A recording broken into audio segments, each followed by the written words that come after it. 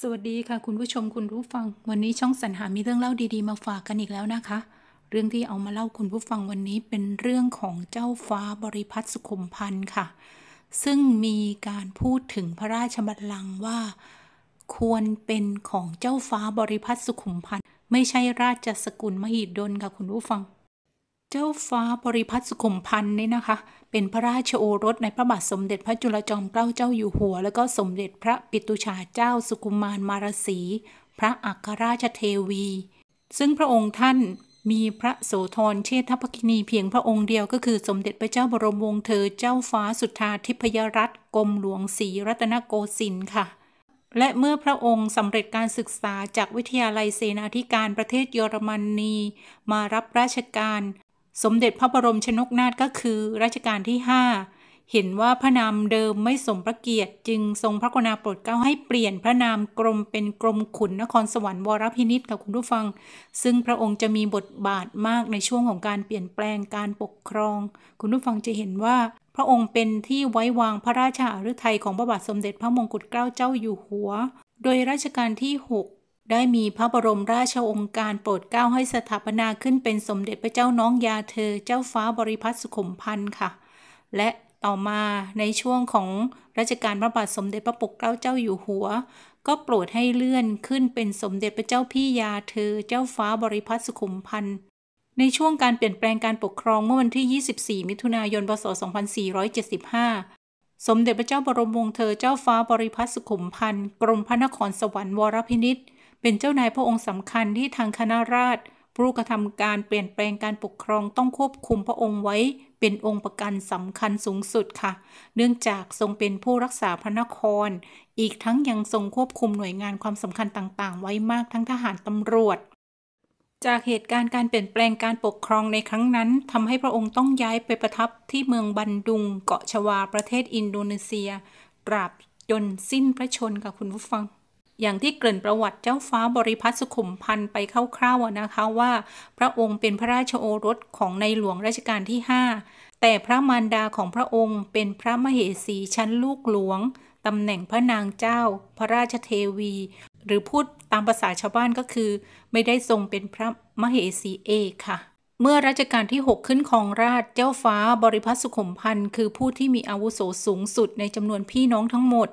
โดยมีพระชนมาพรรษาน้อยกว่ารัชกาลที่ 6 เพียงหนึ่งปี แถมดำรงตำแหน่งหน้าที่การงานสำคัญสำคัญ และก็ทรงมีพระปีชาสามารถมากเป็นที่ประจักษ์ เมื่อในหลวงรัชกาลที่ 6 สวรรคต ทรงเขียนพินัยกรรมเอาไว้ว่า ถ้าได้ลูกสาวก็ให้เจ้าฟ้าประชาธิปกก็คือรัชกาลที่ 7 นะคะคุณผู้ฟัง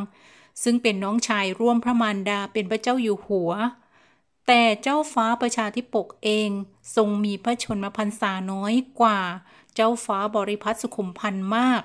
รวมทั้งเจ้าฟ้าประชาธิปกมีความรู้แล้วก็มีประสบการณ์ในการทำราชการน้อยกว่าเจ้าฟ้าบริพัตรสุขุมพันธ์ทำให้เจ้าฟ้าประชาธิปก ออกปากยกพระราชบัลลังก์ถวายให้เจ้าฟ้าบริพัตรสุขุมพันธ์ที่พระบรมวงศานุวงศ์และก็ขุนนางทุกคนต่างเขารู้ว่า เป็นผู้ที่มีความสามารถมากนั่นเองค่ะ แต่เจ้าฟ้าบริพัตรสุขุมพันธ์ทรงก้มลงกราบเจ้าฟ้าประชาธิปก ซึ่งเป็นน้องชาย และก็กล่าวปฏิเสธ และขอให้เป็นไปตามพินัยกรรมที่รัชกาลที่ 6 ได้ทรงทำไว้เราจะเห็นว่าสถานะของเจ้าฟ้าบริพัตรสุขุมพันธ์ เปรียบเทียบได้คล้ายๆกับกรณีกรมหมื่นเจษฎาบดิน หรือรัชกาลที่3กับคุณผู้ฟัง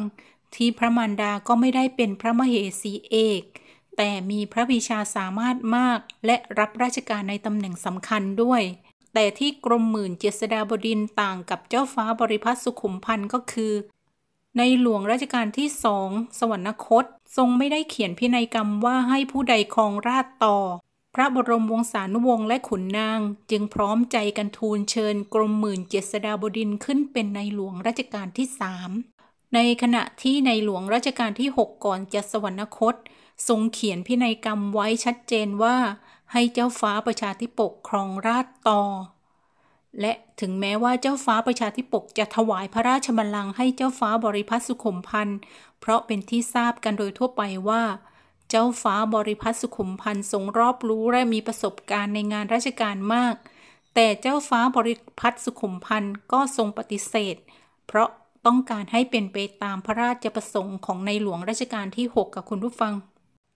และหลังจากที่รัชกาลที่ 7 ทรงสละราชสมบัตินะคะคุณผู้ฟัง พระองค์เจ้าอานันทมหิดลคือลำดับหนึ่ง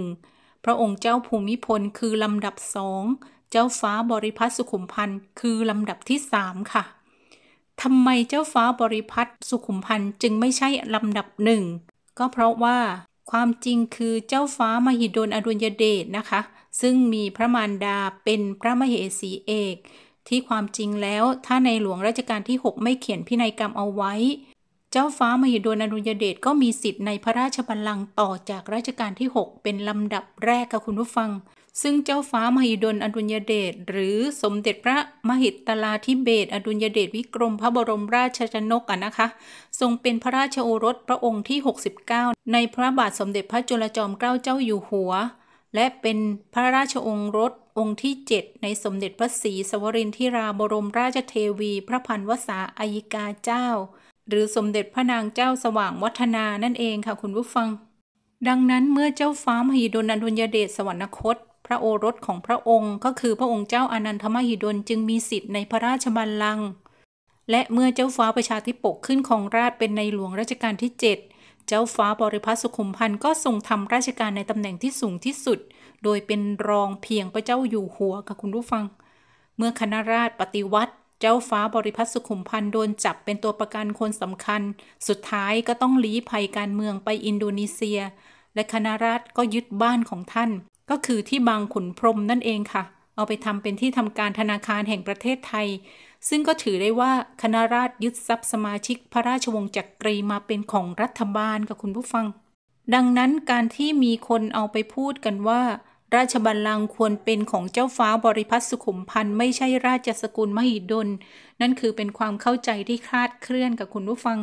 ซึ่งจากที่เล่ามานะคะ เราก็จะเห็นว่าเจ้าฟ้าบริพัตรสุขุมพันธ์ท่านก็ทรงรักเกียรติยึดมั่นคุณธรรมไม่เห็นแก่อำนาจ หรือผลประโยชน์ส่วนตน จึงไม่ยอมรับราชบัลลังก์เพื่อให้เป็นไปตามคันลองแห่งจารีตประเพณีค่ะ ขอบคุณบทความดีๆ จากอัสดางยมนาศจากไทยโพสต์ .net